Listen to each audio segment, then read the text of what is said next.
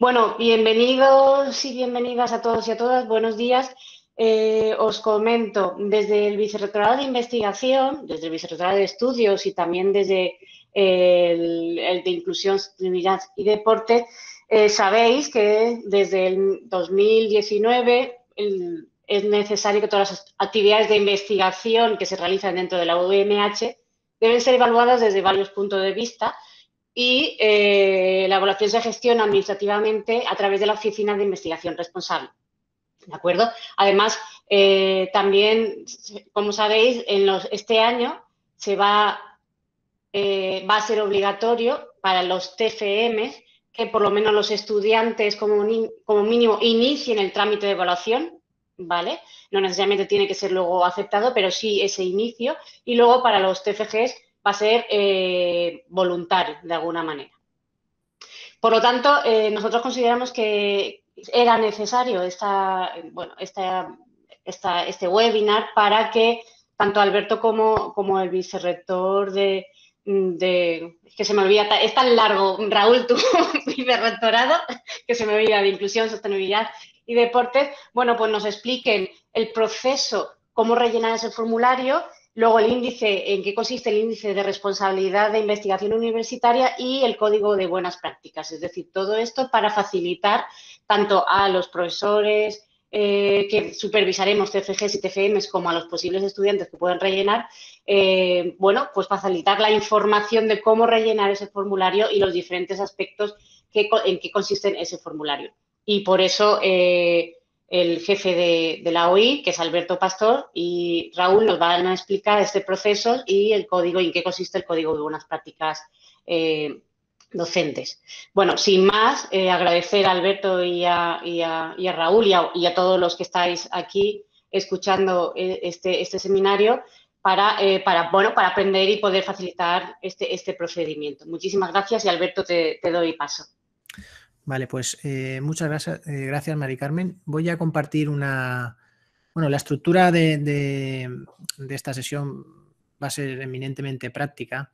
Es cierto que ahora al principio eh, he puesto unas 20 diapositivas para centrar un poco por qué estamos aquí ¿no? y contarlo un poco por encima, pero luego ya iremos al, proceso en sí, que yo creo que es lo, lo, bueno, pues lo, que, lo que más os va a interesar y donde pueden surgir las dudas. ¿vale? Bien.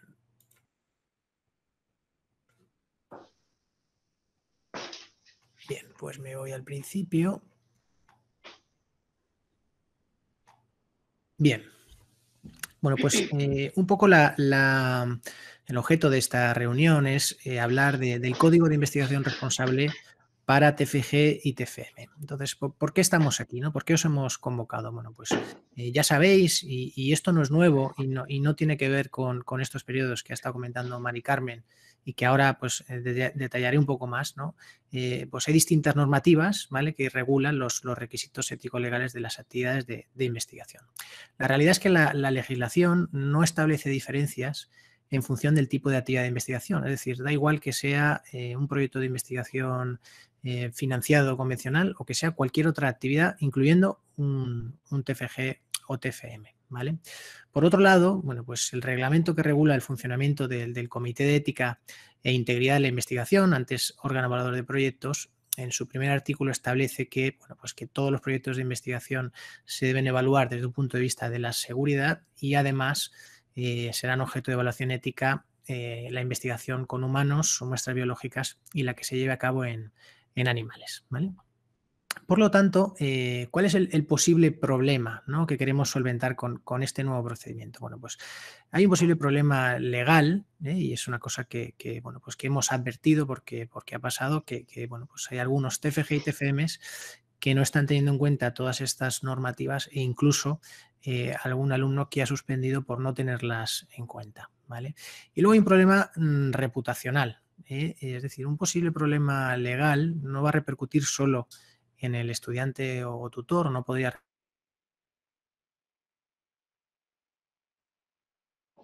Y aquí quiero hacer un pequeño hincapié eh, y, haceros a todos conscientes que eh, tenemos una auténtica bomba de relojería con el tema sobre todo de, la protección de datos personales. ¿vale? Como ya sabéis, desde hace año y pico, dos años, tenemos una delegada de protección de datos en la universidad, pues porque era un requisito eh, normativo también. Y claro, eh, al ponerse a revisar todos los procedimientos, incluyendo los de investigación de la universidad, bueno, pues han ido saliendo cosas y, eh, bueno, pues dentro de las actividades que se hacen en TFG y TFM, digamos que de las cosas que más riesgo tienen a día de hoy es cómo se están manejando esa información privada. ¿bien? Bien, ¿cómo solucionarlo?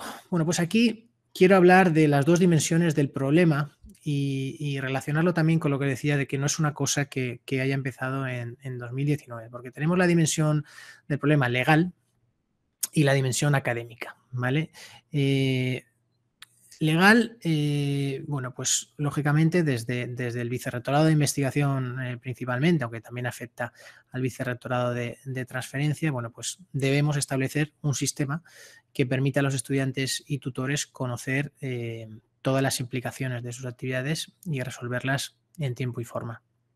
Y desde un punto de vista académico, bueno, pues de una manera progresiva, y aquí hemos ido cambiando el, criterio, pero bueno, eh, la idea es, ya ahora comentaré por qué hemos cambiado el criterio, que eh, una superación académica de un trabajo fin de grado, fin de máster, pues eh, debería contar, si tiene requerimientos ético-legales que, afrontar, debería contar con una evaluación favorable para defender el propio TFG y TFM.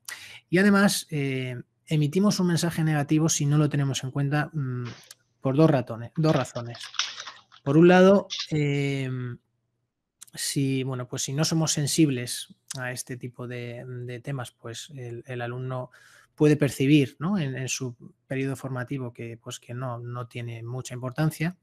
Y por otro lado, y es una cosa que a mí me preocupa especialmente, em, ahora mismo, bueno, pues podría ser que eh, el alumno lleve a cabo este proceso de evaluación.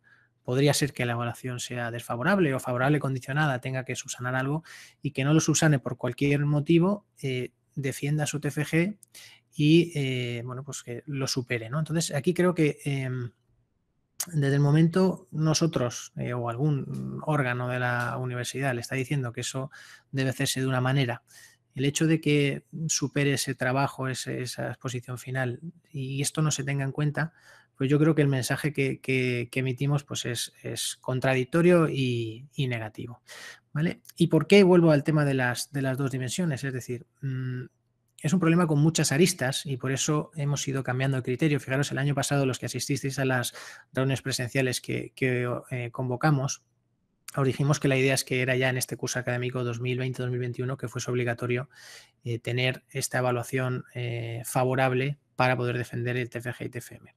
Lo que nos dimos cuenta es que eh, si lo implantábamos ya, eh, de un año para otro, pues eh, hubiese sido un problema también para los alumnos, puesto que es muy difícil sensibilizar e informar a toda la comunidad universitaria.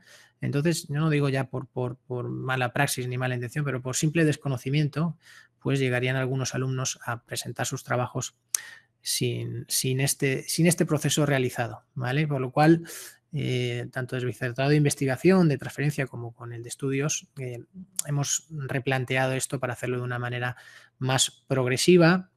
En un primer momento, eh, la idea era que este año se, realizase ese, ese primer eh, esa primera aproximación, que es la, cumplimentación de un formulario online en el que nosotros desde la oficina pues determinamos un poco cuáles son las implicaciones ético-legales de, la actividad y lógicamente le decimos al, tutor y al estudiante pues qué, pasos debe seguir para, para eh, solventarlas o, tener ese informe final favorable.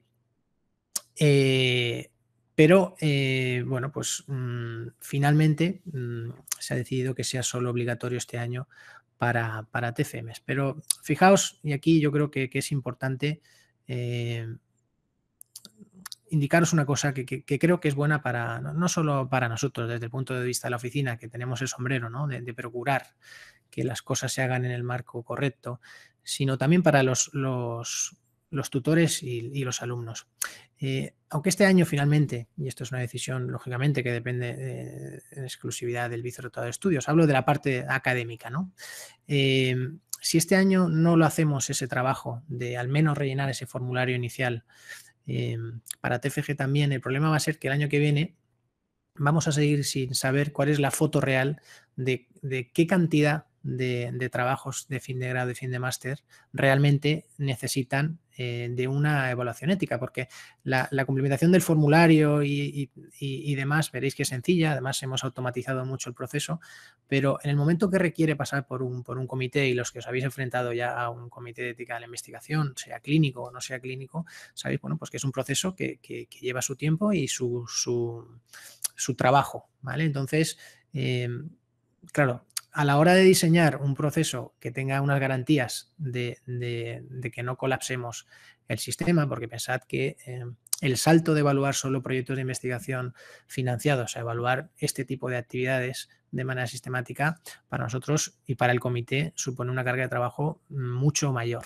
¿vale? Con lo cual, si no tenemos esa, esa, esa foto preliminar de, de, qué requisitos, de cuántos proyectos al final eh, van a necesitar ser evaluados, va a ser muy difícil que, acertemos el año, que lo pongamos en marcha definitivamente y se diga, bueno, pues ahora sí o sí es obligatorio tener este informe favorable para, defender el TFG y TFM. Por lo tanto, os ruego que eh, en la medida de lo posible, mm, también para TFG este año eh, lo hagáis. Y además, tened en cuenta una cosa, porque Luego los comentarios lo, veremos, ¿no? Hay, cierta reticencia siempre a lo que supone eh, más trabajo y, yo lo entiendo, ¿vale? Pero pensad que eh, en un porcentaje muy alto ya, y ahora mismo un 10% de estas actividades de fin de grado y fin de máster ya han pasado por este formulario inicial, este curso académico, Estoy hablando de en torno a unas 300 de las 3.000 totales.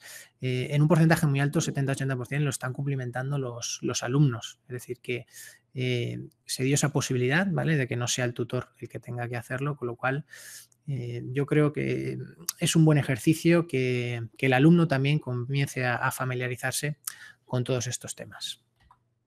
Bien, eh, y esto es lo que os comentaba, ¿vale? Desde el punto de vista legal, pues tiene que ver, lógicamente, o están implicados el vicerrectorado de investigación principalmente porque la oficina depende de investigación pero también el de transferencia, que ahora es un vicerrectorado nuevo, lógicamente, porque también hay actividades TFG y TFM que terminan en una transferencia, incluso en una posible patente, ¿vale? Y el de estudios, por supuesto, eh, desde el punto de vista académico.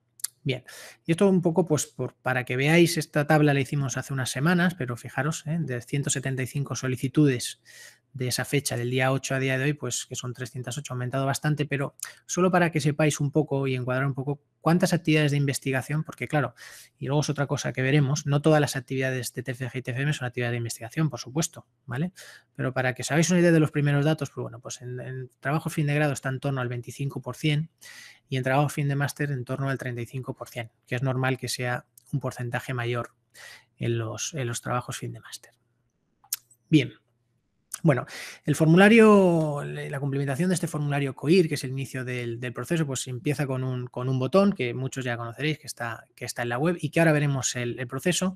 Pero antes de eso, eh, y aprovechando que está aquí eh, Raúl, quiero eh, aclarar una cosa que no hemos explicado, y eso ha sido un fallo nuestro adecuadamente, y es qué es esto del índice de responsabilidad en la investigación universitaria y, qué tiene que ver con el, con el proceso de, evaluación. ¿vale? Bueno, pues deciros que el, formulario COIR, y si pensáis en, lo que es el nombre, es Código de Investigación Responsable, el concepto de responsabilidad de la investigación es un concepto más amplio que la ética y la legalidad o que ese marco ético-legal de cumplimiento. ¿vale? Incluye más cosas. ¿vale?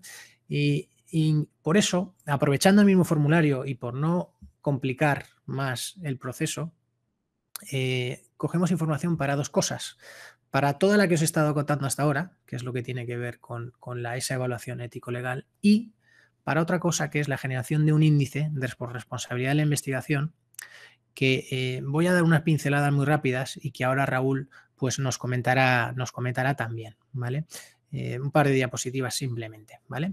Bueno, decir que este, este índice de responsabilidad de investigación universitaria se ha desarrollado lógicamente en conjunto con el Vicerrectorado de Inclusión, Sostenibilidad y Deportes. Eh, es un índice numérico tanto para los proyectos de investigación como para los trabajos fin de máster, Los trabajos fin de grado finalmente también, puesto que hemos rebajado un poco el requisito, eh, se hacen algunas preguntas, pero más cortas y, más sencillas, ¿vale?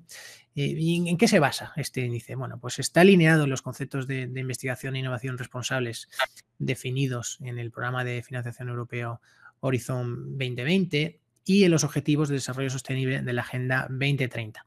Ambos conceptos están desarrollados en la segunda edición del, Código de unas Prácticas que luego comentaré también muy por encima. Em, la investigación realizada en la, UMH, eh, porque ¿en qué nos basamos para, proponer este índice? Bueno, pues eh, uno de los, y de hecho creo que es el primero que tenemos definido dentro de los valores de la, universidad y que se publican en nuestra eh, memoria social de responsabilidad social bianual, eh, uno de nuestros objetivos clave es eh, que la investigación debe alinearse con los ejes de la sostenibilidad, eh, que son los ejes de la sociedad económica, social y ambiental. Y en estos tres ejes se engloban todos los objetivos de, de desarrollo sostenible. ¿vale? Entonces, está IRIU, ¿vale? Este índice está relacionado y esto es lo, que quiero aclarar, ¿no? Con la evaluación de las actividades de investigación o TFG, TFM, pues no. Es decir, pese a que recogemos la información en el mismo formulario, con medida de simplificación, y se emite una puntuación ¿eh? de este índice, este índice, eh, sea mayor o menor, no tiene nada que ver con que la actividad desde un punto de vista ético-legal eh, esté correcta, no, ¿vale? Mide otras cosas, ¿vale? Dicho de otro modo, eh, podría ser que un proyecto no tuviera implicaciones ético-legales, pero sí, eso no implica que no debamos enfocarlo desde la óptica de la investigación y la innovación responsable. yo creo que si quieres, aquí Raúl, eh, quieres comentar un poco este, este trabajo conjunto. Sí, gracias eh, Alberto. Bueno, buenos días a todas y a todos. La verdad es que eh, es un trabajo, como veis, muy transversal que lidera la, Oficina de Investigación Responsable y Alberto, al cual agradezco, agradecemos todos el gran trabajo que ha hecho. Y, el, es algo que empezamos a trabajar en el momento que, entramos, nos sentamos un día, fuimos dándole forma para ver un poco, veíamos un poco hacia dónde van determinadas convocatorias, tanto internacionales, nacionales, incluso regionales, en los cuales se están pidiendo determinados parámetros, no solo eh, los que estáis pidiendo proyectos de investigación, pues veis que nos están pidiendo pues si los estudios incluyen la perspectiva de género o si el equipo está balanceado entre hombres y mujeres. Empezamos a ver convocatorias que nos piden la vinculación con los objetivos de desarrollo sostenible, etc. etc. Entonces, a partir de ahí, visto que además el tema de los ODS queremos empezar en, muchos aspectos lo trabajamos conjuntamente con el vicerrectorado de Relaciones Internacionales eh, y el vicerrector Vicente Nicol. Eh, queríamos un poco, eh, estamos intentando implementándolo en distintos elementos estratégicos. Por un lado ha sido el diseño presupuestario, se ha metido también en la parte del plan director que se llevó Consejo de Gobierno. Y este, la idea es porque, ¿por qué en el TFG y en el TFM? Y ahora dirá Alberto cómo lo queremos meter paulatinamente porque muchos de vosotros estáis trabajando con estudiantes que luego a lo mejor a partir del TFM enlazan con un, eh, o con el TFG incluso podría llevar algo relacionado con el TFM, pero sobre todo muchos TFM son la base de un potencial doctorado. Entonces ya el doctorado puede estar vinculados a proyectos de investigación o puede ser una línea que trabajéis con ese, con ese estudiante y poco a poco queríamos ir implementándolo, de manera que tanto los equipos de investigación como aquellos estudiantes que pudieran llegar a hacer esa actividad investigadora ya les sea familiar con ese, eh, con ese COIR y el código de buenas prácticas que ahora os entrará a detallar Alberto con más detenimiento. La idea del IRIU sí que iría un poco, que es índice de responsabilidad de la investigación en la universidad o universitaria. Eh, queremos al fin y al cabo empezar, pues darle al profesorado un feedback cuando lo está solicitando acerca de su cumplimiento eh, desde el punto de vista reputacional, como estaba diciendo, con el cumplimiento de esos parámetros, que fundamentalmente son objetivos de desarrollo sostenible, perspectiva de género, que lo veis que lo están metiendo en muchas convocatorias, y luego, pues bueno, atender a determinados grupos poblacionales, vulnerables, etcétera, ¿no? Entonces, son eh, porque estamos encontrando esa línea, porque estamos encontrando muchas veces que nos están pidiendo en convocatorias pues la cobertura o la acreditación de la cobertura de determinados cupos, por ejemplo, personas con discapacidad, etcétera. Entonces, esos elementos que estamos identificando, pues es cuando vamos a los proyectos de investigación, llevarlos a la base para de una manera más ligera, más amable, en algunos casos, como ha dicho Alberto, eh, delegándolo en el estudiantado, pueda hacerlo para paulatinamente ir haciendo que sea, que sea obligatorio. Ese es un poco el concepto. Eh, tuvimos una reunión ahora justo eh, a principios de enero, que fue la tabla que os presentó Alberto, donde hemos estado implicados todos los vicerrectorados que estamos participando en este proyecto y va un poco, va un poco en esa línea. Así que eh, yo me voy a tener que sentar, ausentar en unos minutos porque tengo otra reunión, pero es un poco comentaros ese concepto y nada, ponernos a vuestra disposición para cualquier cuestión que sea algo pues transversal y sobre todo que vaya a la línea de lo que nos están solicitando eh, determinados marcos normativos o convocatorias de, que optan a financiación. Muy bien, muchas gracias eh, Raúl. En respecto a lo que a lo que comentas y ya por terminar con el, con el tema de IRIU, aclarar algunos conceptos. Eh, cuando se cumplimenta IRIU, lo que hacemos es, bueno, pues hemos, hay una serie de indicadores que dan una puntuación. Y al final la puntuación máxima es un 100, entre 0 y 100. Y lo que estamos haciendo este año, ¿no? en esta primera aproximación, es eh, también una, foto, ¿no? medir eh, en qué rango nos estamos, nos estamos moviendo eh, también porque para eh, poder mejorar y avanzar en todo el tema de los objetivos de desarrollo sostenible y todo lo que tiene que ver con la responsabilidad de la investigación, pues también hay que ver dónde estamos, ¿vale? Por eso se está haciendo ya para los proyectos de investigación y, ya digo, también para, para TFM. Quiere decir, y es una pregunta frecuente, que eh, si mm, o sea, la puntuación, ya lo he dicho antes, ¿no? ¿Está relacionada con, la, con el proceso de evaluación ético-legal? No, da igual la puntuación que se saque, no tiene nada que ver tengo que sacar un 50, es decir, ¿el índice se aprueba, se suspende? No, no. Es decir, habrá actividades que tengan unas puntuaciones muy altas por el tipo de actividad y otras pues que tengan eh, pues una puntuación más baja. Pero ¿por qué es importante eh, incluirlo? Porque una vez se rellena, eh, se recibe un informe donde se explica qué cosas se pueden hacer se tiene una labor también un poco mm, formativa o informativa, qué cosas se pueden hacer para en trabajos posteriores mejorar hacia esta responsabilidad en la, investigación. ¿vale? Bien, dicho esto, voy a seguir ya unas pocas diapositivas más eh, eh, de la parte esta de, introducción eh, conceptual, ¿vale? Y como ha salido a colación, ¿vale? El código de, buenas prácticas científicas, deciros, bueno, pues que el año pasado publicamos la, segunda edición, ¿vale? ¿Y qué, qué, es este código? Bueno, pues la idea es, así lo dice la introducción, que es un código que engloba una serie de, indicaciones sobre la práctica de la, actividad científica destinadas a favorecer la calidad de la investigación y a prevenir eh, problemas de integridad, tanto para científicos como personal investigador en formación, incluyendo a los estudiantes que participan en actividades de investigación.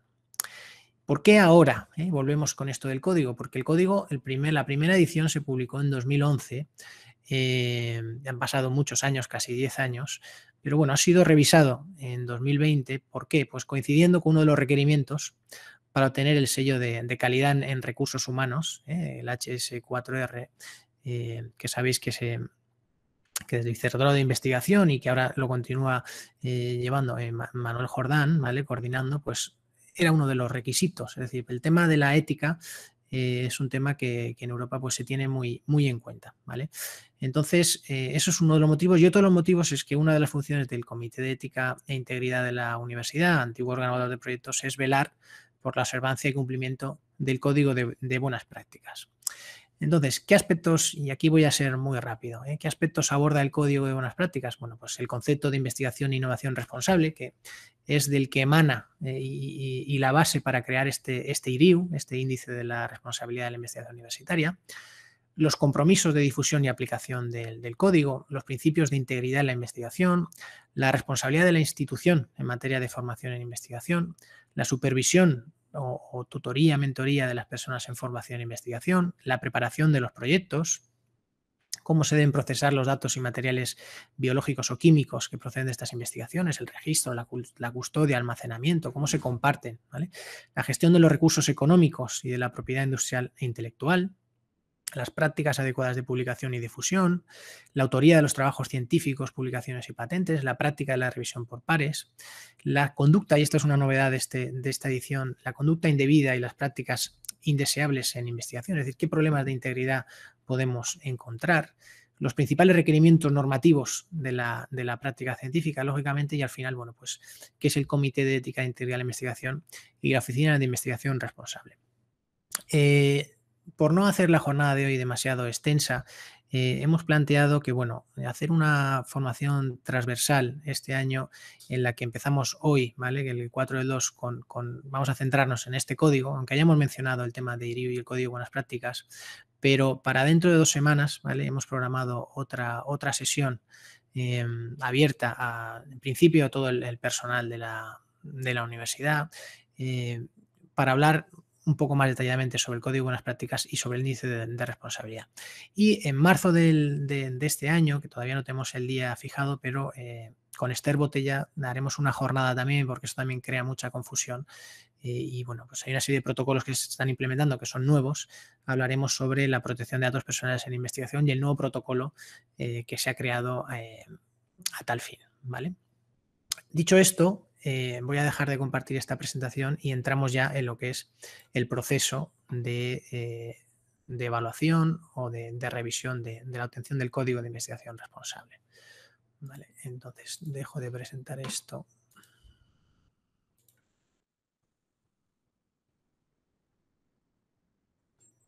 A ver, la pestaña. Vale. Bien, eh, si entráis a la página de la, Oficina de Investigación Responsable, que es eh, oir.umh.es, arriba, ¿vale? Pues tenéis presentación, integridad, solicitud de evaluación, que esto es para proyectos convencionales, y TFG y TFM es para la solicitud de evaluación de los trabajos fin de grado y fin de máster, ¿vale? Hay una introducción, un árbol de decisión que ahora comentaremos, porque yo creo que, aquí es donde se van a resolver muchas dudas, ¿vale? Y eh, antes de comentar este árbol, ¿vale? Quiero comentar eh, cómo hemos, porque luego eh, en el árbol lo vamos a ver, ¿no? Cómo hemos dividido las, actividades eh, de, TFG y TFM, ¿no? Porque lo que decía al principio, lógicamente no todas las actividades que se hacen en los trabajos finales de son, son actividades de investigación. Entonces, ¿qué tipos son de actividades son originales y que no estén adheridas a proyectos de investigación y ahora comentaremos un poco más de eso también. Bueno, pues hay dos grupos.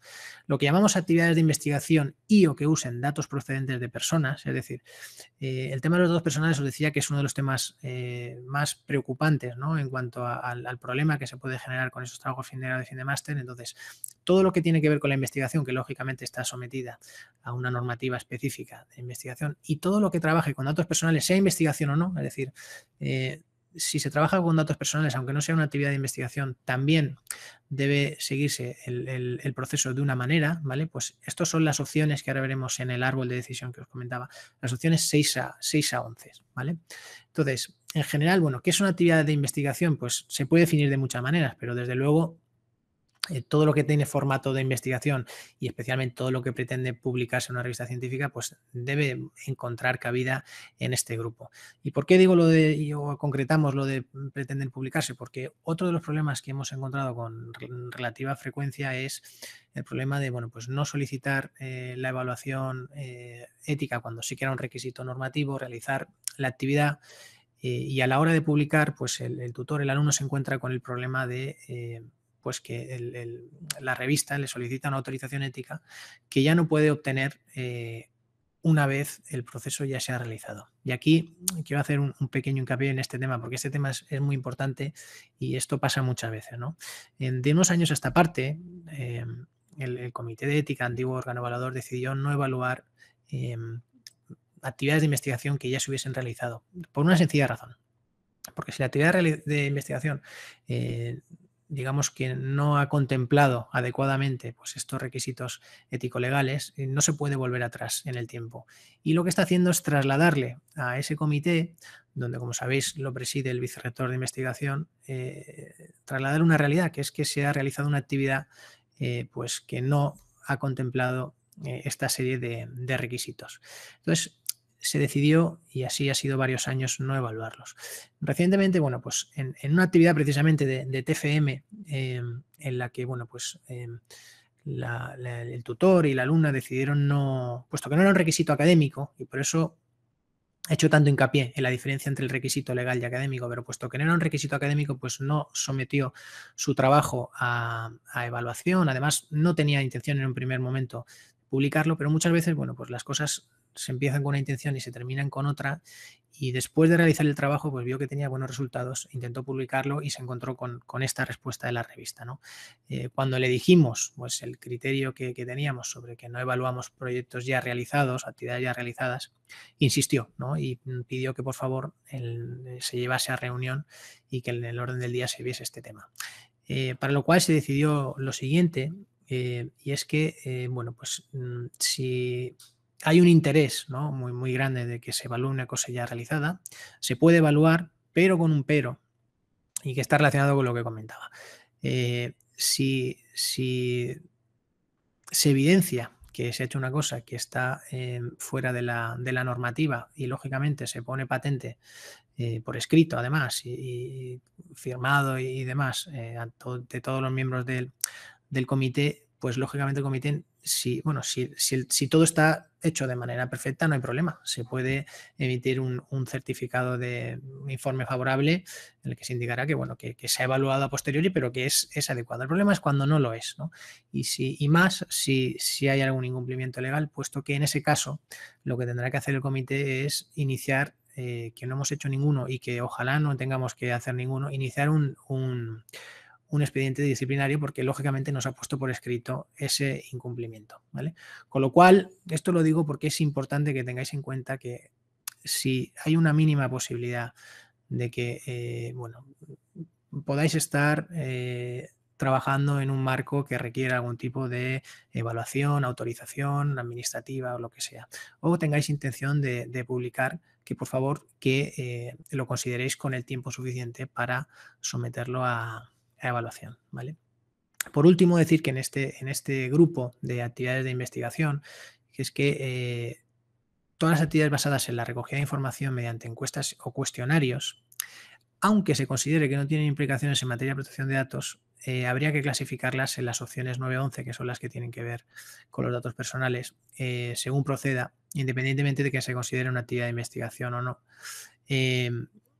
¿Por qué? Pues porque como la normativa de datos es muy compleja, porque así es, es una, normativa muy compleja, puede ser que consideremos que no estamos eh, recogiendo datos personales y sí que lo hagamos, porque los datos personales no incluyen exclusivamente a los datos identificativos que todos conocemos, ¿no? Pues el nombre, el DNI y demás, ¿no?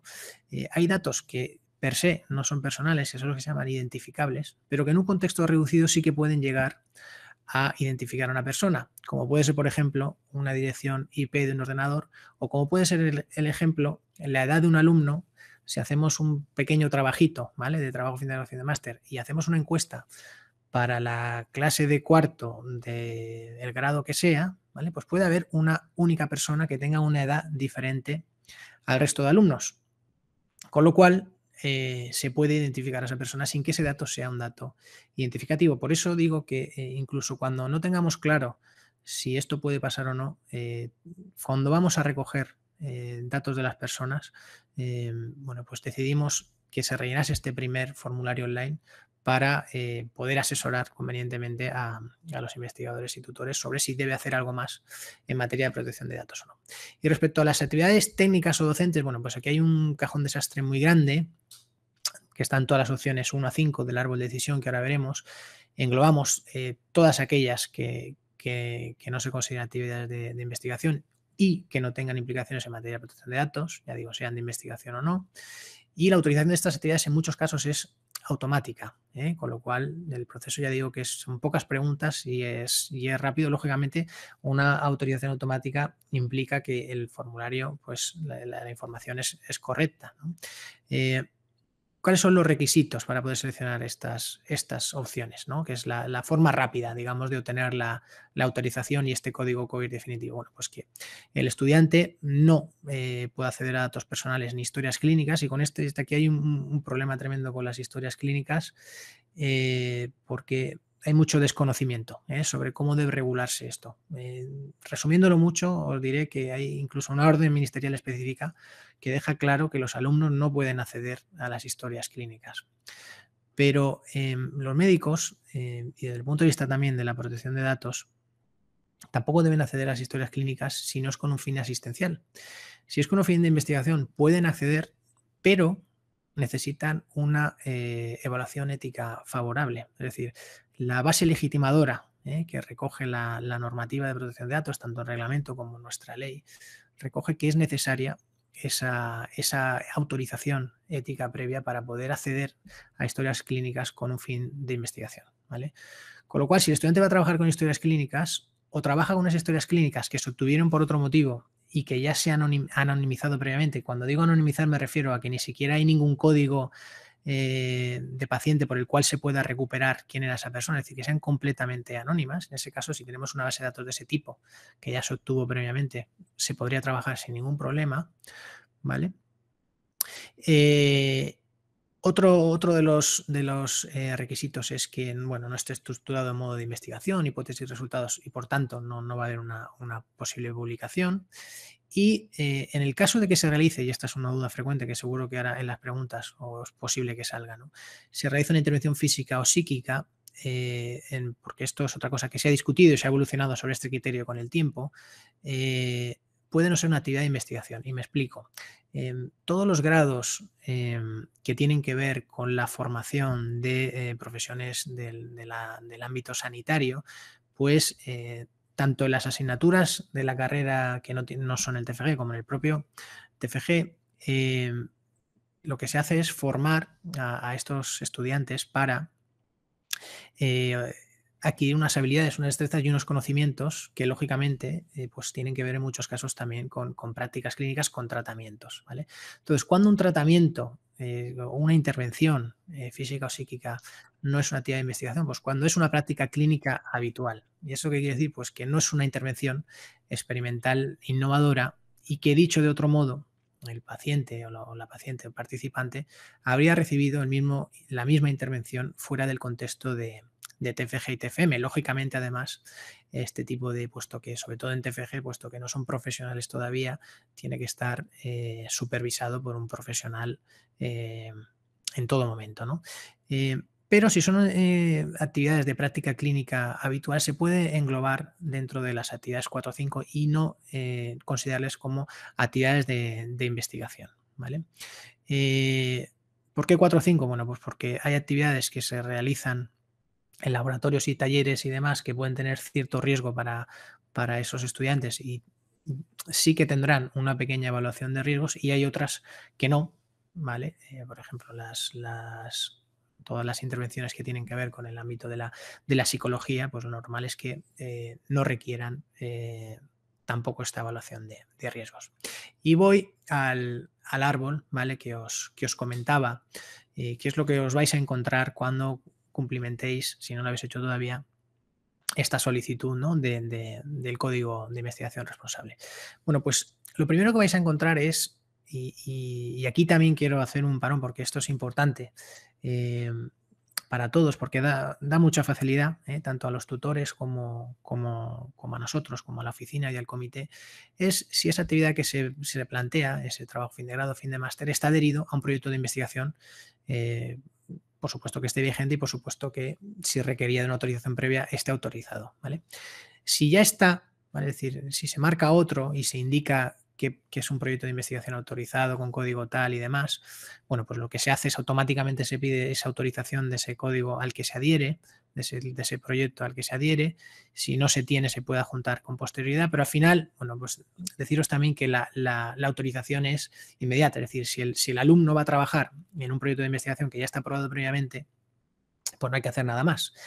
Eh, por eso, eh, una de las mm, buenas prácticas que ya me consta que, por ejemplo, en el Centro de Investigación del, Deporte, bueno, me lo estuvo comentando Raúl hace poco, ya se está haciendo, es eh, pensar en unas líneas de investigación, unas líneas de trabajo que se sometan a evaluación y que sean susceptibles de incluir a estos alumnos TFG y TFM de manera que no sea necesario realizar, sobre todo, ahí hablo aquí, las que requieren una evaluación ética con comités y demás, que son las, las, las que llevan más trabajo, pues eh, de manera que haciendo esto una vez, pues se puedan incluir una serie de alumnos y no hacer eh, una actividad nueva, original con cada uno de ellos, eh, por el trabajo que esto supone. En el caso de que sea una actividad original y no se adhiera a un proyecto autorizado, tenemos 11 posibilidades, ¿vale? Las actividades 1 a 5 son las que consideramos no de investigación y además la 1 a 4, que tiene, son revisión bibliográfica, diseño de un estudio observacional, una propuesta de intervención que lógicamente no se realiza y un trabajo técnico intelectual, que aquí en trabajo técnico intelectual cabe casi todo, ¿eh? cabe desde mm, los trabajos que se hacen, por ejemplo, eh, cabe casi todo. La única diferencia con el 5 es el tema de, los riesgos laborales, ¿vale? Pero todo lo que sea intelectual, que genere informes y demás y que no sean actividades de investigación, eh, pues entraría en este punto 4. Si os fijáis, todas estas son de autorización casi inmediata y, ahora comentaré un poco más de eso casi inmediata porque la única, eh, el único paso adicional es que si no lo rellena el tutor, y lo rellena el alumno, este formulario, pues el tutor recibe un email en el que se le indica, bueno, pues este, este alumno, eh, este estudiante, alumno alumna, eh, ha rellenado este formulario con esta información y se pone un enlace de verificación para que el tutor diga si eso es eh, ok. Si es ok, la autorización se emite de manera automática y si no es ok, pues se requiere pues, reformular ese, ese, ese formulario, ¿no? Volver a introducir la información para ver otra vez en qué situación nos encontramos. Ya digo que la 4 y la 5, la única diferencia es si se va a trabajar en laboratorios y talleres donde pueda haber algún riesgo, ¿vale? Entonces, en ese caso, lo que se pediría es una eh, evaluación de riesgos que también se realiza a través de un formulario online, pero que es un proceso mucho más sencillo que cuando eh, requiere una evaluación ética de comité, ¿vale? Dicho esto, nos vamos después a las actividades 6 a 11 que sí que tienen que ver con las actividades de investigación. Entonces tenemos actividades de, investigación técnica, pongo entre paréntesis sin implicaciones éticas. ¿Esto qué quiere decir? Pues que en la 6 englobaríamos todo lo que no está definido en la 7, la 8, la 9, la 10 y la 11. ¿vale?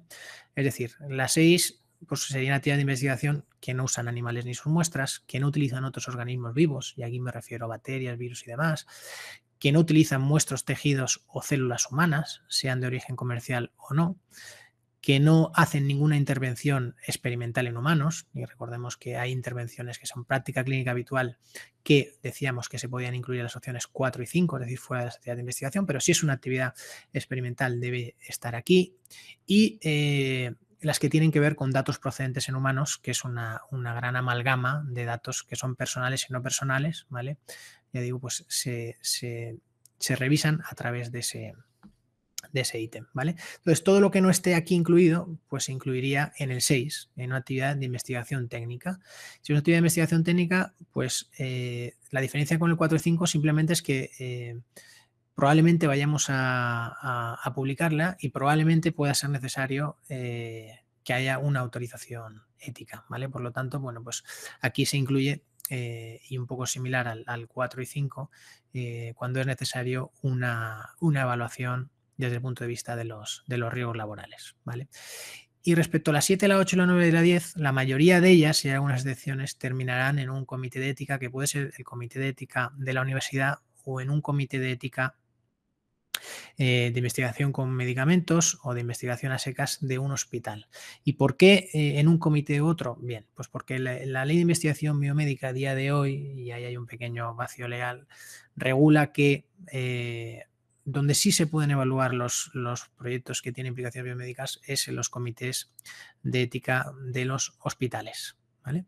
Entonces, todo lo que está dentro de paraguas de la ley de investigación biomédica debe evaluarse por un comité de ética de hospital. Si bien es cierto que haciendo un análisis de riesgos eh, y puesto que tenemos eh, o nosotros consideramos que tenemos eh, autonomía universitaria y bueno, llevamos muchos años evaluando proyectos de investigación en la universidad, pero los que consideramos que tienen un riesgo muy pequeño, como por ejemplo el uso de células humanas de origen comercial, pese a que la, normativa, ¿eh? en este caso la ley de investigación biomédica, no diferencia si esas células son, las has cogido directamente de un paciente o si las has comprado en una empresa, ¿vale? Eh, pero en este caso nosotros, por ejemplo, pues las que, las que se compran en una empresa sí que las evaluamos en, el, en, la universidad, ¿eh? en el comité de ética de la investigación, el comité de ética integral de la investigación. ¿Por qué? Bueno, pues mm, ya digo, no hay este vacío legal por el cual nosotros, como no somos un comité hospitalario, no podemos acreditarnos, ¿eh? lo hemos intentado ya varias veces, pero no, no tenemos interlocutor para acreditarnos,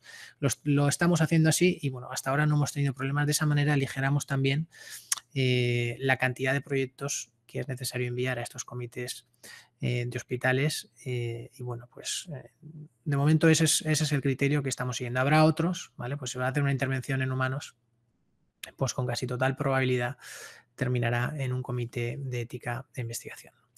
Bien, y un poco hasta aquí es todo lo que os quería comentar. ¿vale? Tenemos 48 minutos y yo creo que ahora pues, es un buen momento para que bueno, pues, abramos un turno de preguntas, dudas concretas. Eh, recuerdo el año pasado cuando hicimos las sesiones presenciales había ciertas dudas sobre en, qué, en cuál de esas categorías, de la 1 a la 11, englobar nuestras actividades y demás. Así que, eh, pues nada, sin más, eh, cualquier pregunta que, tengáis, pues la, comentamos. Hola, buenos días. Alberto, ¿puedo intervenir?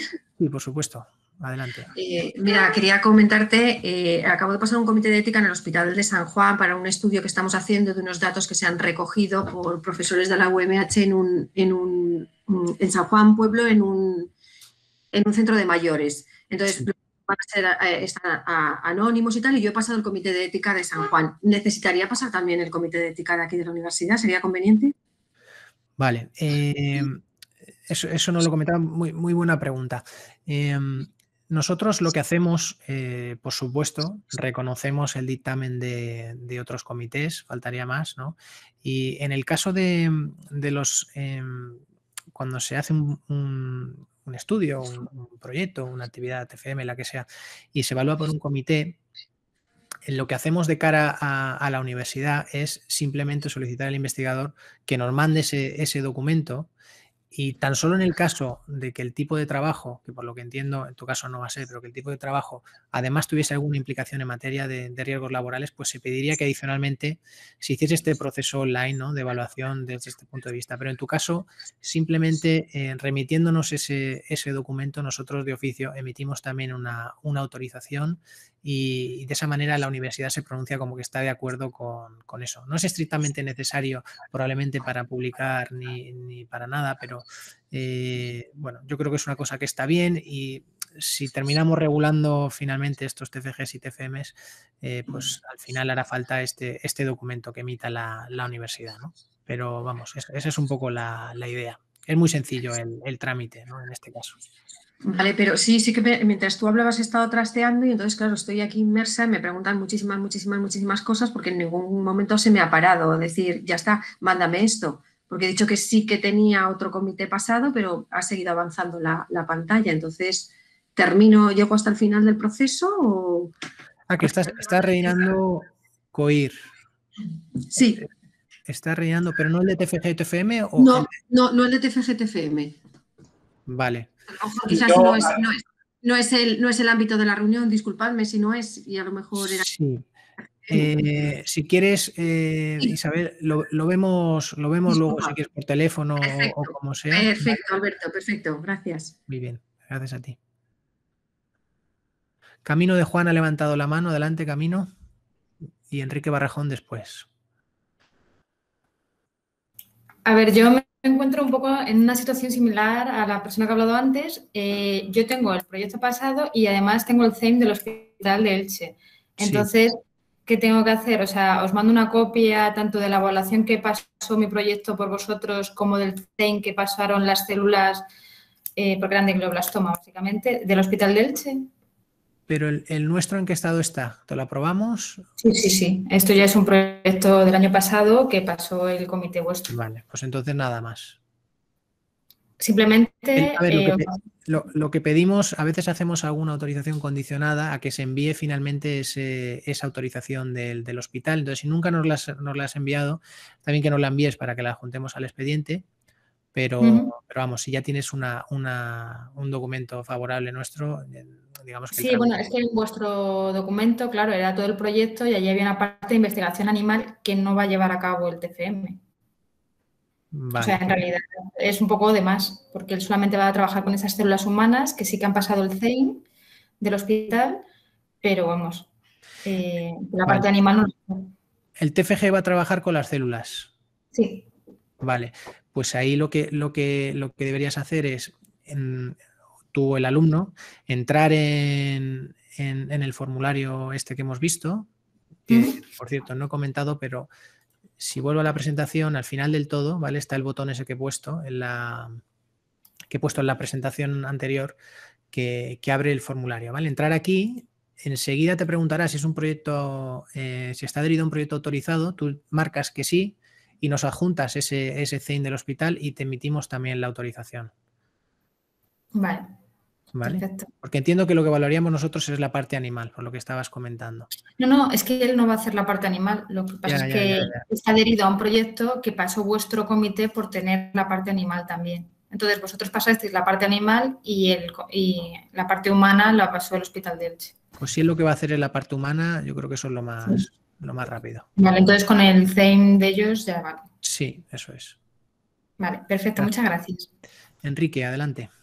No, yo creo que es lo mismo. Ayer te envié un correo con que estoy en la misma situación, entonces no sabía si tenía que pedir de cero a través del botoncito este la evaluación del proyecto o como si ya tengo el comité en lo que hay del hospital, tengo que hacer algo o no. Vamos, si quieres luego me contestas y ya está, no... Sí, no, no, eh, igual, eh, entras y, al principio como de las primeras preguntas es si está adherido a un proyecto, tú dices que sí y adjuntas el, el theme. Y ya está, y, se, acaba ahí el proceso. Vale. Y ahí emitimos el aprobado y ya está. Ok, venga, pues muchas gracias. ¿Alguna, ¿Alguna pregunta más? Sí, yo, tengo una, Alberto. Sí. Em, mira, eh, es una cuestión un poco más, más procedimental. Em, aunque este año en principio no, es decir, no se prevé que esto, creo, ¿no? Es decir, que no, creo que este año se prevea como que se formalice que tengan que pasar todos los TFM, todos los TFGs. Es decir, creo que este año es únicamente la parte del tutor, ¿no? Lo que tengo entendido, ¿verdad? Los TFM sí. Los TFM sí que este año ya todos tienen que pasar por esta primera fase de cumplimentación del formulario online. Vale. Eh, ¿cuánto, tiempo crees que sería necesario eh, de previsión para esto? Porque el otro día hablando con unas compañeras, Sí, eh, ya estamos trabajando con algunos alumnos en sus TFM porque quieren presentarlo en junio. Entonces, un poco haciendo también previsión de, que tengáis en algún momento, pues, no sé, eh, decenas de TFM para revisar y de solicitudes y demás. ¿Cuánto tiempo crees que sería necesario o si va a haber un plazo, por ejemplo, abierto para, hacer este tipo de, procedimientos? A ver, yo creo que, si, por el conocimiento que, tenéis de la actividad pensáis que va a requerir eh, una evaluación ética, mm. pues tenéis que tener en cuenta que eh, si es una evaluación ética que se puede desarrollar eh, dentro del comité universitario, dos meses al menos vais a necesitar. Ya sabéis que las reuniones son mensuales, pero que normalmente siempre se pide que se subsane alguna cosa. Con lo cual, yo creo que dos meses es un plazo razonable. Si nos vamos a un comité de hospital, que entiendo que vuestro caso no será, pero ahí a veces los tiempos se alargan un poco más y ya podríamos estar hablando de unos tres meses o por ahí yo creo que mínimo con ese tiempo de antelación habría que, presentarlo. Vale, y luego, luego otra, otra cuestión. Si, por ejemplo, a ver, es que nosotros tenemos como dos perfiles, bueno, muchos perfiles de alumnos, pero un poco los dos perfiles desde un punto de vista ético más sensible es quienes recogen eh, datos primarios, es decir, y, está, y especialmente por el, por el, tipo de temáticas que trabajamos en, en Crimina, van a trabajar especialmente con, con categorías especiales de, de datos, entonces esto ya puede ser un, es decir, esto ya me imagino que ya en el mismo comité pues ya nos diréis un poco cómo, cómo poder abordarlo adecuadamente, pero luego hay, hay, otro perfil que es de alumnos que trabajan con datos secundarios, es decir, con bases de datos que bien o les, les han dejado, o bien con datos, bases de datos que son públicas.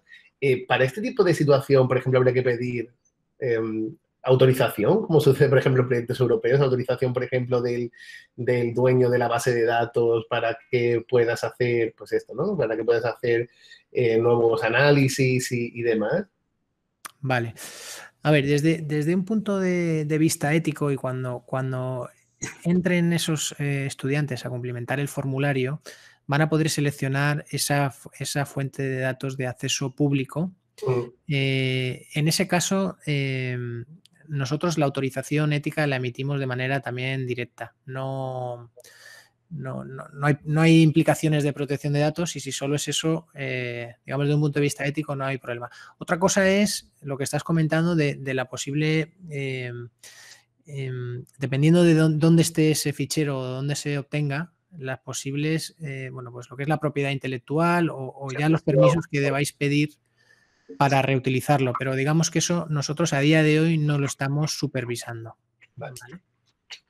vale. Genial, gracias. Nada, he visto Tatiana también ha levantado la mano y Alba. Hola, yo también he levantado la mano. Mari Carmen Terol también. Vale, pues si queréis, eh, bueno, empieza tú, Mari Carmen, que ya has comenzado, y luego Tatiana y luego Alba. Vale, gracias. Nada, yo solo quería confirmar dos cosas.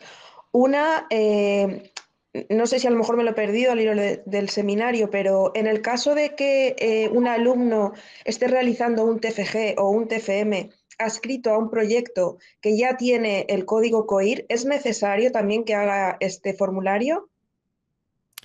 Eh, si es un TFM, eh, el alumno debería tener un, documento de autorización de que su actividad es favorable. Entonces, debería rellenar ese formulario COIR, adjuntar ese documento de autorización que comentas y, de oficio también se le emite la autorización de, para su TFM con su, con su nombre de alumno, su nombre de TFM y, bueno, la manera de que, esté, de que esté claro que ha pasado ese proceso.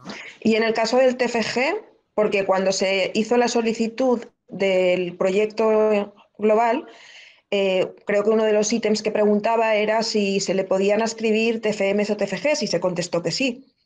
Entonces, una vez que se tiene ya ese código de COIR, un TFG que está haciendo una parte o está escrito a ese proyecto, ¿también lo tiene que hacer el formulario? Pues, pues eh, nosotros eh, el año pasado os dijimos que sí, ¿vale?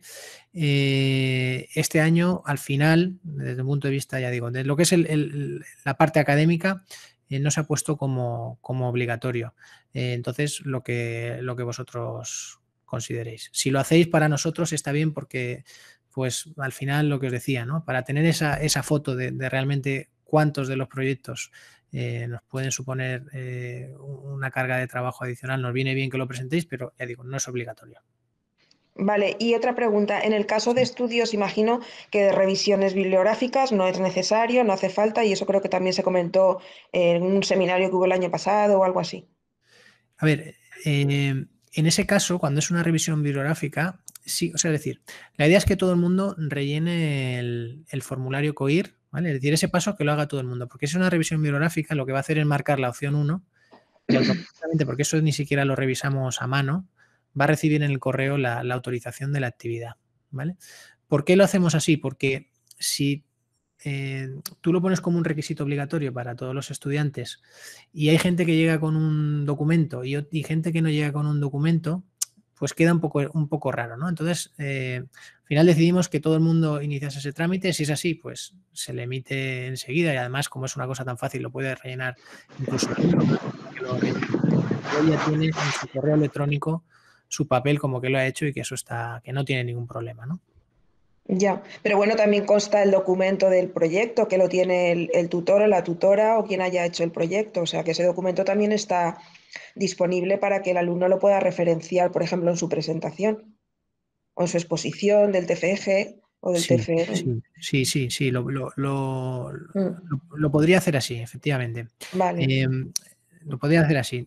Estoy pensando en otra cosa que, que, he estado hablando con, con, María Carmen varias veces y es que eh, en algún momento y, en la aplicación de TFG eh, va a ser obligatorio subir eh, ese certificado, ¿vale? Pero de momento eso no, eso no, es este año, ¿vale? El certificado que se emite cuando pasan por el formulario COIR y demás, ¿vale?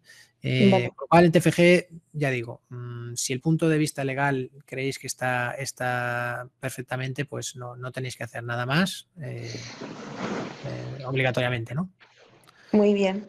Pues muchas gracias. Nada, a ti. Eh, a ver, teníamos a Tatiana, Alba y hay otra pregunta más después de eh, Adriana. Tatiana, por favor. Hola, buenos días.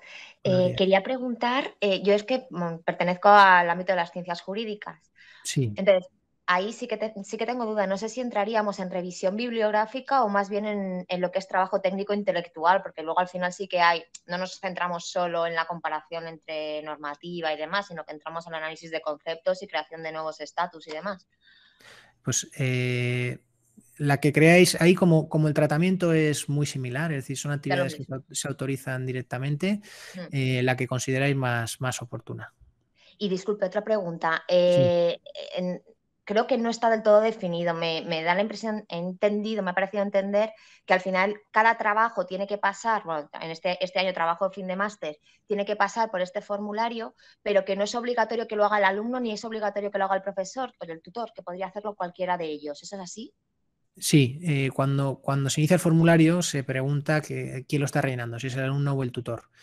Y si, es el alumno, la única diferencia así lo rellena el tutor es que luego el tutor debe, eh, para terminar el proceso, verificar que la información, porque ¿cuál es el problema de que lo rellene el alumno? Pues que se equivocan más, ¿no? Entonces, eh, hay después un, se recibe un, correo automático en el cual eh, pues se indica al, tutor que por favor verifique que esa información, se incluye lógicamente la información que ha rellenado el alumno, que esa información es correcta. Pero efectivamente lo puede rellenar cualquiera de los dos. Vale, de acuerdo, muchas gracias. Gracias. Eh, siguiente, Alba creo que era. Hola, buenos días, Alberto. Buenos días, Alba muchas gracias, me ha venido muy bien el seminario porque soy nueva en esto. Realmente con las preguntas de los anteriores compañeros casi que se me han resuelto todas, pero ya aprovecho y te pregunto, eh, si voy a hacer, por ejemplo, eh, muchos han preguntado que cuando, si ya han pasado un comité de ética, que lo adjuntan, eh, digamos, al cuestionario o a una de las partes del cuestionario. Pero si no has iniciado el proceso, ¿qué es mejor? ¿Hacer primero el cuestionario y pedir el comité de ética o siempre va después del comité de ética? ¿Cuál sería la forma correcta? La forma correcta es siempre el, formulario primero y, os explico por qué. Porque normalmente si, requiere un comité de ética, en muchos de los casos va a tener implicaciones de datos también. Entonces, para que hagáis el protocolo de datos correctamente, que el protocolo de datos correcto quiere decir que en la hoja de información esté adecuadamente cumplimentada, la que se da al participante en el marco del consentimiento informado, esté correctamente cumplimentada y para que haya un registro y bueno, eso ya lo daremos otro día más, más en profundidad, ¿no? Pero cada actividad con tratamiento de datos debe generar un registro de la actividad de tratamiento.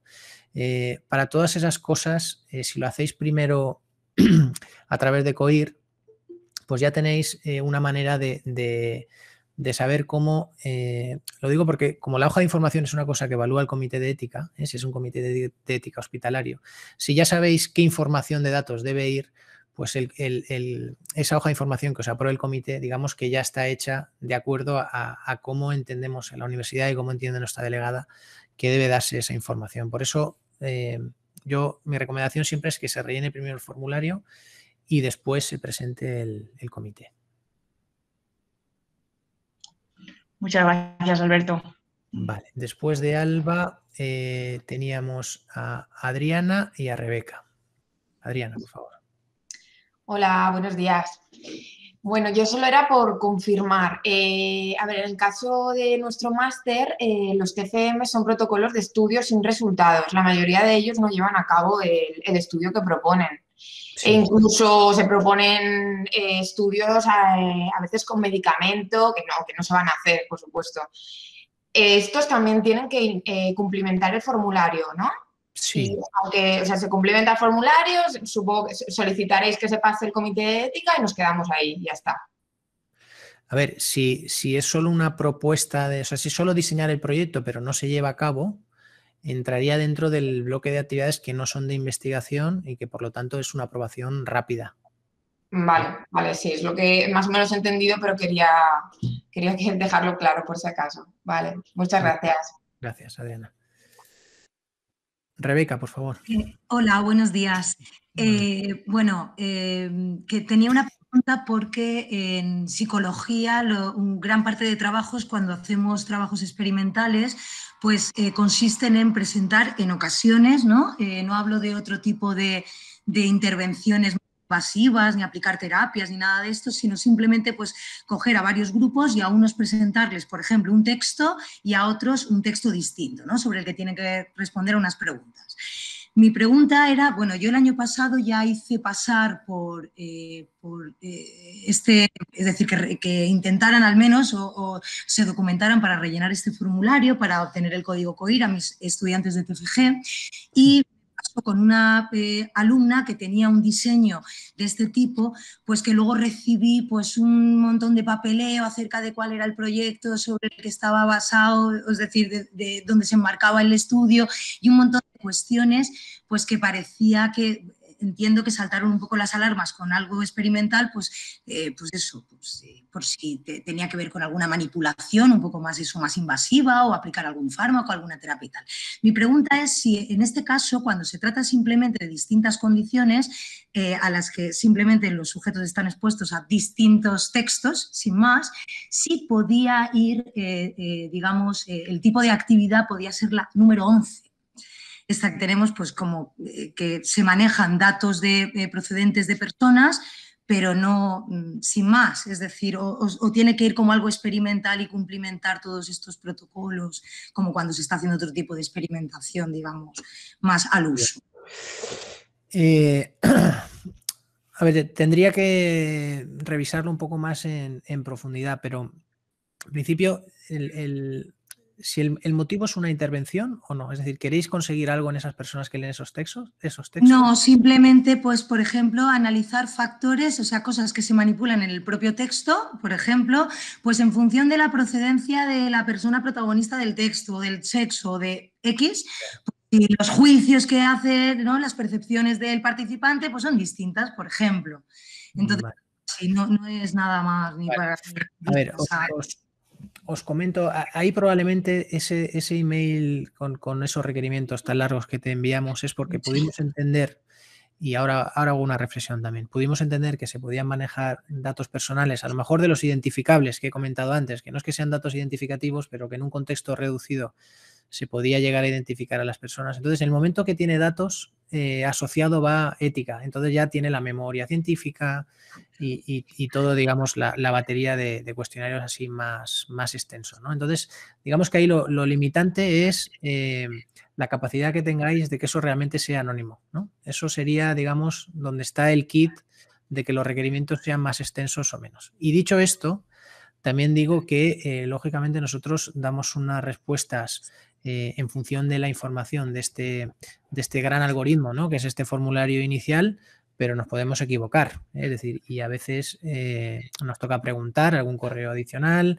o, llamar directamente al investigador. Entonces puede ser que en alguna ocasión a lo mejor nos hayamos equivocado con lo que te hemos pedido. Si tú crees que nos hemos equivocado, por favor llámanos y, lo, y vemos el caso concreto. ¿vale? Pero... Vale, genial. Me dejas tranquila pensando, es decir, entonces entiendo que toda actividad que sea simplemente como la número 11, donde se manejen datos, independientemente del diseño que sea experimental o no, según los tipos de diseños de investigación, eh, es, si va más por ahí, entiendo que entonces esta problemática se tiene en cualquier tipo de, diseño de encuestas donde se pase y, eh, pues eso, un cuestionario y, las personas tengan que contestar, ¿no? Que no, radica tanto en el hecho de que sea un experimento, sino más bien pues, que se están recogiendo datos sobre personas. Sí, sí, es decir, los, estudios de investigación em, con datos anónimos hacemos, se evalúan en comité porque se evalúan, pero es lo que llamamos una evaluación simplificada. Lo único que os pedimos es que nos mandéis la documentación que va, que esas encuestas, ¿no? que van a recibir esos participantes y que añadáis un pequeño encabezado donde se explica, es como una, como la hoja de información de un consentimiento, pero de manera muy, muy resumida, explica, bueno, pues que eso es de un estudio de la universidad, con el investigador principal es tal, es el proyecto y esos son los objetivos y, que es anónimo. Entonces, diciendo eso, eso se añade a esas hojas y, no se pide la memoria ni nada más, pero sí que se evalúa en el comité, se ve que realmente eso es anónimo y es ok y se da y se emite una, una autorización, pero digamos que el proceso de la carga de trabajo que supone para el investigador cuando es anónimo es mucho menor. Ok, sí, no, de hecho, incluso siendo este diseño, como digo, de distintos textos o tal, era como completamente, no nos hacía falta saber quién había contestado qué cosas ni nada, ¿vale? sería igual que cuando se administra simplemente una encuesta a todo el mundo la misma y ya está. Vale, pues entonces haré hincapié por mis estudiantes que tengo de TFM y TFG este año que vayan a administrar cuestionarios o vayan a hacer algún tipo de diseño de este tipo, pues que hay que, bueno, en, principio está todo anonimizado, pero bueno, pues que, hay que hacer hincapié en esto y ya está. De hecho, me mandasteis también para otra investigación donde poníamos que las personas que contestaban tenían que generar un código con objeto de posteriormente poder identificar si hacíamos un retest, ¿no? Sí pues eh, me mandaste una aplicación para que, eh, bueno, para que generaras un código aleatorio para cada uno, según metían, creo que era el número de teléfono y tal. O sea, que, que irá por ahí en el caso de que, de que se pueda o si hay sospechas de que se pudiera identificar a alguien. Vale. Eso es. Muchísimas gracias, Alberto. A ti, Rebeca. Por todo el seminario, porque la verdad es que ha sido muy útil. Gracias. Javier, creo que has levantado la mano otra vez.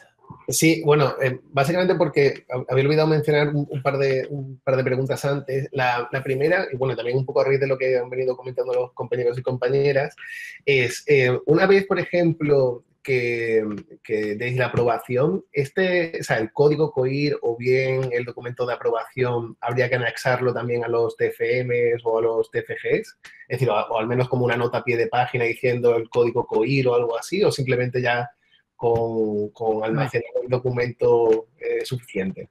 Vale, bueno, aquí eh, nos, a ver, no sé si nos he contado un par de cosas. Em, al final de, si, os, si volvéis a la, a la, página que estoy compartiendo, ¿vale?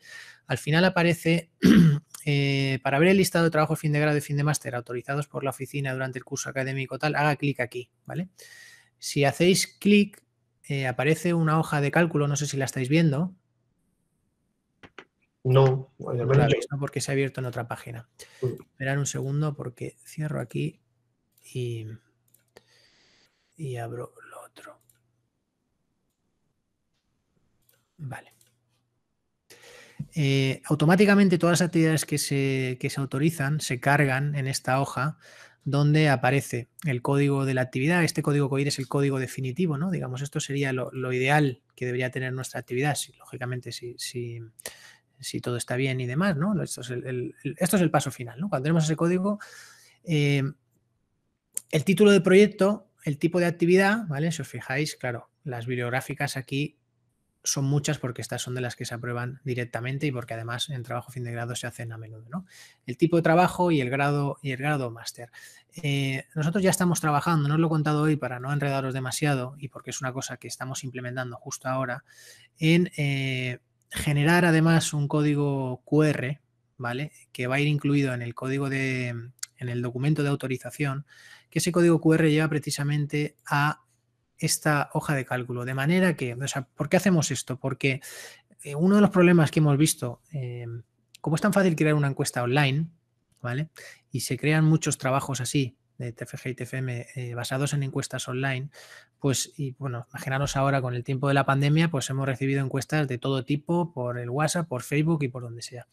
El problema de esas encuestas es que los alumnos muchas veces eh, se presentan, se identifican como UMH, eh, nadie ha filtrado, bueno, supuestamente el tutor, imagino, pero eh, no lo sabemos, ¿no? Nadie ha filtrado qué se pregunta ahí. En numerosas ocasiones se recogen datos personales y al final estamos dando una imagen externa de, que se está haciendo algo en nombre de la UMH que puede tener, pues, eh, ciertos problemas, ¿no? Entonces, nuestra idea con este, con este código QR que lleva esta hoja de todo lo que está aprobado es que en todas las, en toda la documentación ¿vale? De, esos trabajos fin de fin de máster, sobre todo la que sea pública, es decir, pues si pasamos una hoja de información al participante, un consentimiento informado, eh, aunque sea una actividad anónima, pero si les pasamos unos cuestionarios que rellenen, que lleven siempre ese, ese código QR que ya digo que estamos ahora mismo comenzando a implementar para que si una persona se enfocó una encuesta online, ¿no? Nos encontramos con una encuesta online y tenemos ahí un código que dice que esa actividad ha sido aprobada y se puede comprobar, se puede entrar en registro donde se ve que esto es así, pues yo creo que, mejoraremos en, el descontrol que tenemos actualmente de, ese tipo de, actividades de, basadas en cuestionarios que, se generan, no sé, no, sé, a qué número, pero a, cientos al mes. O sea, eso, es un una cosa que nos, que nos, preocupa, ya digo, sobre todo por el tema de la, protección de datos. Entonces, eh, aparte de almacenarlo, ya digo, este, este código QR, pues lo ideal sería que, como sello de que eso se revisado favorablemente, que lo incluyeseis en toda la documentación o, las páginas web o lo que consideréis que sea interesante. Vale, y, la, otra, la otra cuestión que, tenía era, eh, un poco al hilo de lo que comentaba Rebeca, es eh, sobre el tema de la anonimización o la pseudo-anonimización de datos. Eh, ¿Vais a dar alguna serie como de, herramientas o de indicaciones, así en plan que podamos seguir? Porque, bueno, generalmente nosotros vamos a trabajar igual, ¿no? Es decir, vamos a trabajar en el, máster de análisis y prevención del crimen, con, muchísimo, es decir, con, con encuestas y demás. Entonces, no, sé si sería también útil, pues eso, ¿no? Que, que algunas estrategias o, herramientas que podamos utilizar. Vale. A ver, lo, primero que hay que, hay que explicar, em, eh, bueno, es, em, hacer esta sesión de formación ¿no? que comentaba antes sobre el protocolo de investigación y donde ahí, pues lógicamente se comentarán eh, eh, todo este tema de la pseudonimización, la diferencia con la, anonimización. Em, tengo que hablar con Esther porque está bien esto que comentas de, herramientas ¿no? para anonimizar o pseudonimizar, porque esto es muy interesante, puesto que hay herramientas eh, incluso gratuitas que se pueden usar en el proceso. Y lo importante, Javier, es en, este, en este sentido es que em, cuando tengáis un procedimiento autorizado, ¿vale? Eh, que habéis recogido datos personales y demás, si vosotros en un momento dado eh, ya no necesitáis conservar esos datos, esos datos personales, o sea, sí los datos asociados a esas personas, pero no los que los identifican, que creéis una base de datos anonimizada con la que podréis hacer otras actividades que os vendrá muy bien para hacer, es decir, esos datos que se obtienen normalmente siempre se pueden trabajar más y buscarle otros enfoques que a lo mejor ahora no se nos ocurren, pero el año que viene sí. Entonces, eh, lo ideal es que cuando acabéis mm, todos los proyectos, digamos, mm, gordos, ¿no? que han, pasado por los, estos procesos de autorización y demás, anonimicéis esas bases de datos y las podáis usar eh, cuando queráis y sin ninguna restricción. La pseudonimización está bien, pero, pero no, te, no te saca, digamos, de, las obligaciones de las obligaciones legales ¿no? que tienen que ver con, con la protección de datos. Pero la anonimización sí, ¿eh? con la anonimización. Si la base de datos se ha anonimizado correctamente, ya podéis trabajarla como queráis, cuantas veces queráis y, con aprobaciones automáticas. ¿eh? Es decir, es ahí no, no, eso ni siquiera va, va a comité muchas veces, ¿no? O sea que. Alberto, soy Esther. Sí, eh, Esther, adelante. Era comentar que a este respecto bueno, en la guía de investigación se habla de los dos conceptos, un poco para explicarlos mejor, la guía de investigación que se explican en su momento. Em, lo, que, lo que has comentado me parece muy interesante y se podría abordar, porque así darle herramientas sería interesante hacerlo. Pero, pero vamos, que en cualquier caso, en, esa guía de investigación aparece muy bien aclarado los conceptos de qué es pseudonimización y anonimización un poco para, conocer ese concepto porque muchas veces se confunde. Muy bien, gracias Esther. Em, no veo, no sé si alguien más eh, ha levantado la mano, si tenéis alguna duda más o si terminamos ya la, la sesión. Bien, bueno, pues parece que no hay no hay ninguna intervención más. Así que nada, sin más, eh, daros las gracias a, todos por asistir. Eh, puesto que hemos grabado la, sesión, vamos a, difundirla para que, bueno, pues todas las personas que no han podido asistir, eh, por supuesto, os las enviaremos a, todos vosotros, pero además, bueno, intentaremos llegar lo, más lejos posible. Ya sabéis que los, los, emails y, y, llegar a la gente a través del correo electrónico es muy difícil, ¿vale? Nuestro, nuestro ratio de de éxito está calculado entre un 20 y un 30%. Entonces, eh, si como recibiréis el vídeo, si consideráis que debéis compartirlo con, compañeros vuestros, nos podéis ayudar en esta discusión, os lo, os lo agradeceremos siempre porque, porque creo que es importante que todo esto, bueno, pues que la gente lo, lo conozca y esté, y esté informada. Así que nada más. Muchas, muchas gracias a todos.